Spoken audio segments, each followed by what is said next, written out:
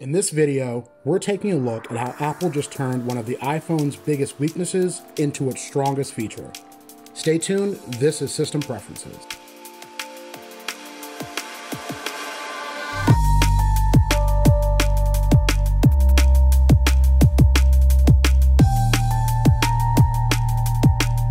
Last month, Apple held their 2022 September event and launched the new Apple Watch Ultra AirPod Pros 2, the new iPhone 14 Plus, and iPhone 14 Pros. Yet, even with those announcements and new iPhone features like emergency satellite communication, crash detection, and a new 48 megapixel lens in the 14 Pros, the feature that got most people talking was the iPhone's notch replacement, the Dynamic Island.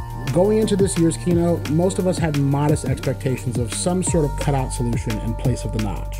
Months of rumors had pointed to an eye shaped double cutout, though last minute leaks suggested the two cutouts could be bridged by software. Still, even guided by those leaks, once Apple unveiled what it had been cooking up for the 14 Pros, it became clear that the leaks and rumors we've been basing expectations off of for the past year only told half the story of the iPhone's notch replacement. Despite its bizarre name, which only Apple could have come up with, the Dynamic Island takes the formerly dead screen space of the notch and turns it into a multifunction hub that enhances the experience of iOS. Here's how it works. The early leaks were correct in showing a double eye-shaped cutout with a sliver of screen in between. And like those last minute 9 to 5 Mac leaks indicated, this middle sliver of screen is blacked out using software. Because the iPhone's OLED displays can switch off individual pixels, this allows all of the lenses of the Face ID and front-facing cameras to be hidden inside of the blacked out cutout. Those who've seen the 14 Pros in person say the lenses are only really visible when you hold the phone at certain angles, which seems like an improvement over the current blacked out notch.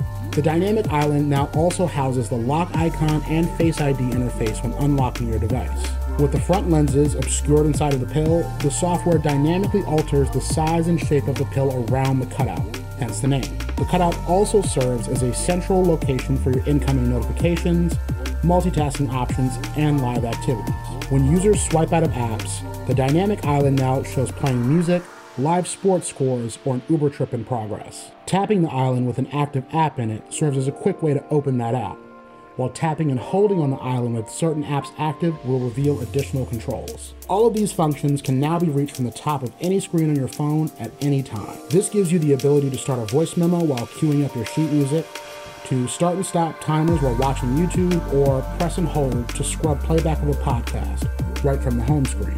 Because you can have two active apps at a time open in the dynamic island, it seems to also serve as an effective multitasking navigator allowing you to switch between two of the most important apps running on your device at a given time. Prior to the September event, at most, I expected Apple to use software to create fun, animated effects around the pill, like a glowing or pulsing effect for notifications, but this goes above and beyond what I had conceived of. What makes this a significant update to the iPhone is that it's not just a gimmicky feature included for its own sake. It exists for a purpose which is to house the device's biometric security and front facing camera. But Apple has doubled down and made it even more useful by utilizing the area around the cutout to handle some of your iPhone's most important functions. While I was initially confounded by the addition of two separate cutouts instead of one big one, placing a small strip in between the cutouts means you're far more likely to activate a touch capacitive part of the display, even when most of your finger lands on the lenses. This represents a significant shift in how we interact with our devices and is the most interesting change to the iPhone lineup since the iPhone 10. Even Apple thinks so. This is another in a recent string of examples of Apple listening more intently to customer feedback on their products and trying to integrate solutions to those problems. While many people had no problem with the notch and even appreciated how iconic its look is, seeing the Dynamic Island now makes clear what a missed opportunity the notch was to also utilize software to turn their display compromises into useful features.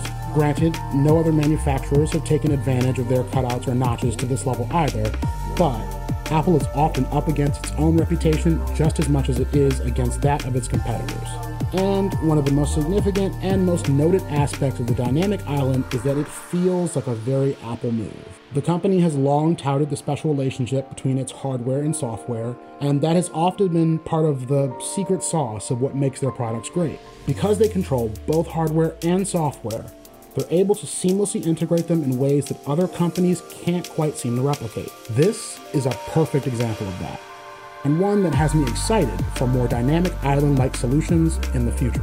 That's it for this episode of System Preferences. Stay tuned for more iPhone 14 and iOS 16 coverage coming soon.